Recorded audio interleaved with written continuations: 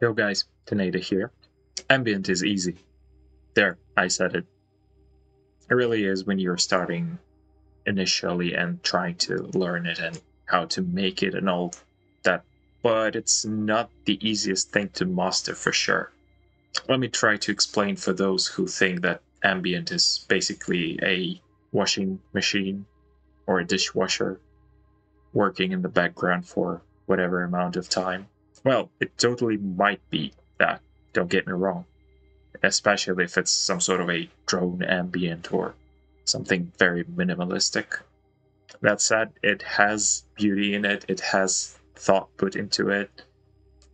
Uh, okay, okay, okay. There are cases when people do some lazy ambient. Most of the time, that happens when you're just starting to learn. But that doesn't mean that everything is like that.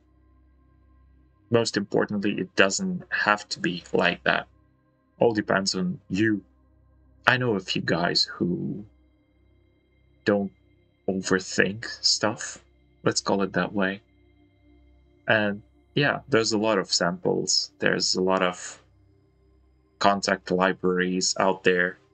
There's a lot of um, sample packs, field recordings, uh, zero attribution recordings, etc., etc. You can do a lot with that already. Hell, you can even take your phone, go outside into the city or into nature, just somewhere where things happen, where you can get some unusual soundscapes, where you can get some textures, some noise. Okay, let's just look at some of those things. There we have a good amount of sounds, all sourced from wherever. None of those come from sample packs, by the way. I either recorded them myself or got somewhere myself from, like, I don't know, online radio, something like that.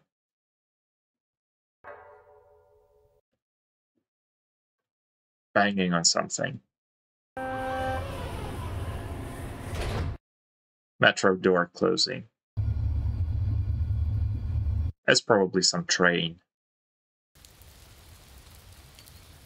There is some rain and birds.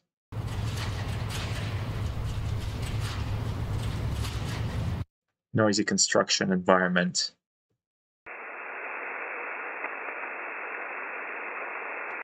Radio recording. These all are pretty interesting sounds on their own they don't make a story. They don't really create any sort of narrative atmosphere. They just are. And if we try and combine them and perhaps add just a tiny bit of melodic stuff in there, you can get something pretty magical.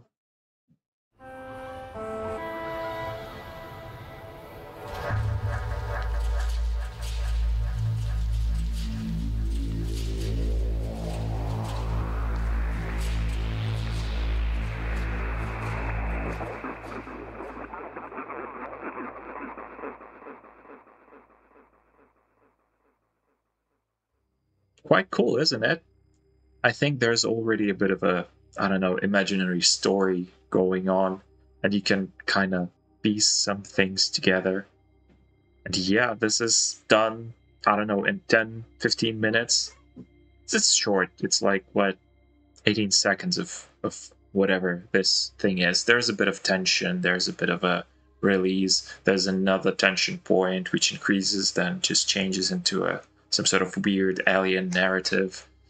Yeah, I, I can just go through and say what I did to which of those samples. This guy, duplicated three times. Original, a bit of reverb, sure. Changing the pitch to make it harmonious. Whatever. Then tension is done via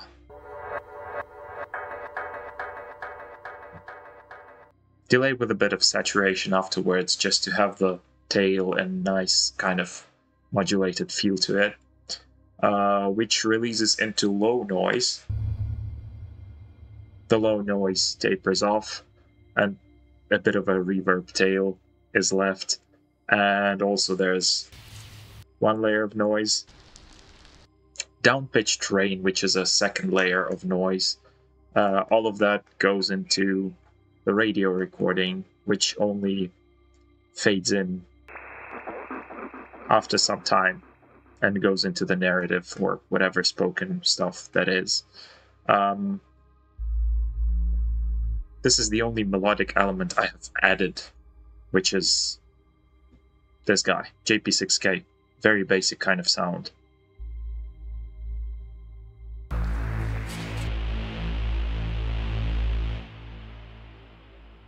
Saw, reverb, opening and closing filter. That's about it. But you have some dynamics, you have some atmosphere, you have some idea at the very least, and you can progress and develop it further and try to make it into a piece. Maybe there's a very, I don't know, slow kind of build up before that, very ambient ish, very, very pad based. Um, or maybe that's noise but not pads instead, or some field recordings. Maybe you have some sort of a haunting rhythmic arpeggios, sequences, etc., etc. afterwards. At least that's what I usually do. Um, you know, each of us has own formula, and each of us has to first discover it and see what things work for you and what doesn't work. Some people don't bother with all the layering, all the fancy stuff, and and and like that. Um, sometimes it's just simple things that work, and come together nicely in a bit of a good, well thought package, um, which is you making a chord progression or a very slow but developing soundscape. And yeah, that's just what it is. And it doesn't have to be anything more than that. Um, yeah, there's all sorts of ambient. Some is, let's call it less. Some requires less effort to make, but it doesn't mean it's worse. Sometimes okay, sometimes it is worse when it doesn't speak to you, when it doesn't resonate with you. And that's what people usually tend to call experimental, which is like there's a lot of effort put into it, but things just come across as weird and unusual and not very easy to listen to. Uh, but sometimes that is the idea. Fine, good, go for that. That's not bad. Uh, sometimes you don't want to do a whole lot of things, but you have if if you're making things minimal, you have to have a very good understanding and feeling for what sounds good with minimal patterns, minimal sounds, minimal arrangements it is not as easy as it might seem. Um, yeah, just go, try it, do something, be creative, try out some ideas, try out some techniques. The more ambient music emerges, the better it is, in my opinion. There is no bad music, there's just music that wasn't exposed to a big enough audience, so, like, no one liked it or something didn't resonate with the people or the right people weren't around to listen to it, you know. But yeah, music is good. Don't be too lazy about it. Or be lazy, but be very thoughtful of what you're doing and not just blatantly, you know, play one note and then pitch it up by two semitones and call it an ambient masterpiece. No, it's not. That's just two notes. Yeah, that's what I wanted to say. Ambient is easy. It. Uh, making good ambient is not as easy, but it's worth trying for sure. Peace.